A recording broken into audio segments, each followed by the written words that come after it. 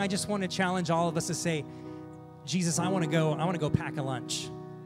I want to go pack a lunch. I want to, every time I'm around young people, whether that's kids, whether that's that's students, I want to pack a lunch. I want to help prepare them for however God wants to use them. And that for those of you that are parents, that's that's for your own biological children as well.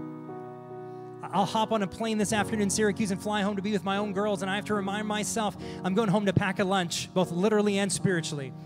School's tomorrow morning. We're going to be packing lunches. But it is an investment. And I just want to say to you today no matter what your age, on behalf of the next generation, they need you. The next generation needs you. And yes, they, they may look different, dress different, talk different. You may not know what BeReal is, that's okay. But they need you, they need your prayers. They need you to be able to show them what it's like to be faithful in marriage and faithful in serving and showing up to church on time. Like sometimes, like, yeah, amen. You know, the next generation, they need you. So as we pray this morning, I just want us all to walk out of this room again with this resilience in our hearts, saying, you know what? I'm gonna go pack a lunch. I'm gonna say, God, use me however, and it may mean that I am nameless and not mentioned, but it will mean that you will work a miracle in young people's lives.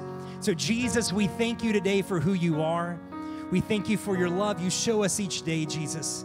God, I pray that each of us walk out with a greater resilience in our heart, Lord, to pack a lunch that it may be being unseen, unmentioned, unnoticed, unthinked.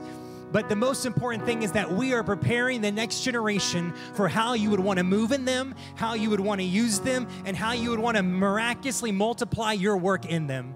So, Jesus, this morning, we're just here to say we're available. That God, more than our ability, you are looking for our availability. And so that is the heart cry of us this morning that we're here and we're available, Jesus. We're available.